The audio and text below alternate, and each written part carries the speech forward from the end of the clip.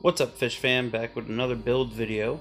Uh, this is a 5 gallon aquarium and it, as you can see it's dirted and I'm just using some generic uh, topsoil that I got from a local hardware store. Use potting soil or even dirt from their backyards. Just make sure there's no uh, pesticides in it and you should be fine. For the sand I'm using a general purpose sand and I'm using this opposed to like uh, pool filter sand or play sand because it has a darker color and I feel like that gives it a more natural look. But you can use whatever you'd like, just make sure you rinse it off really well first.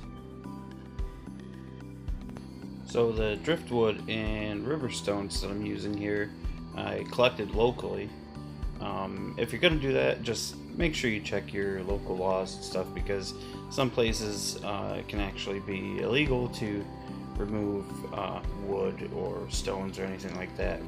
It's uh, it's also good practice to clean any wood or rocks that you find locally or you collect yourselves, um, and that could be anything from you know boiling the wood or baking it to kill off anything that might be on it and uh, release tannins and stuff like that. For me, I, I usually boil some driftwood and for the stones, I'll just give them a good cleaning with a brush and some hot water, and they're fine.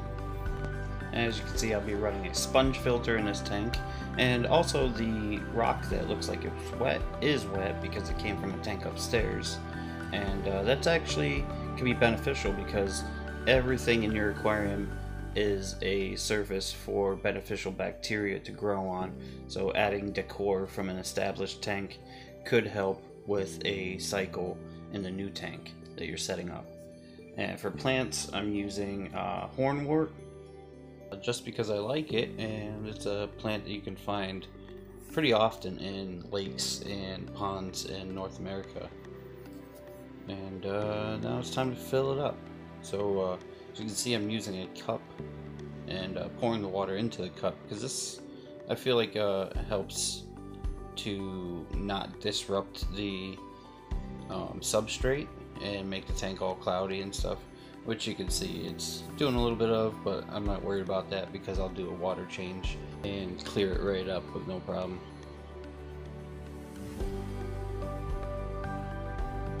Now I should have known better beforehand and attached all these pieces of driftwood together with uh, super glue uh, gel type super glue but it didn't, so now I've got to deal with this. But, uh, I like how it's looking so far.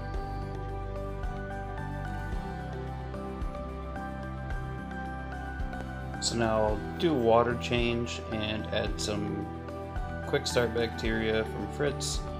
And here it is. I've added some oak leaves and some tannins, and I've added the fish.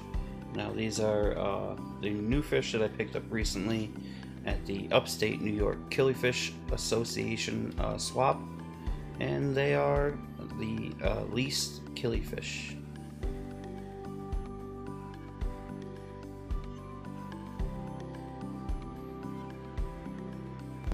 Now these are uh, the smallest North American native fish and also one of the smallest or the smallest uh, live bear in the world. And uh, they're also officially the first fish in my fish room. So I picked up a trio, uh, two males and one female, and the females are actually larger. As you can see in the front here is a female, and that this one here is a male. Um, the females reach about a maximum length of about uh, an inch and a quarter, whereas the males will reach a maximum length of three quarters of an inch. Now these guys are pretty easy to care for and they will do just fine in a pretty wide range of uh, water parameters and temperatures ranging from the mid 50s into the uh, mid 80s and being omnivores they'll accept uh, pretty much any food that you'll you can give them that'll fit in their mouths. I've been feeding mine uh, crushed up flakes and baby brine shrimp, and they've seemed to love that. And uh, that's all I've got for you, so thanks for watching. I uh, hope you liked the video, and make sure you like and subscribe.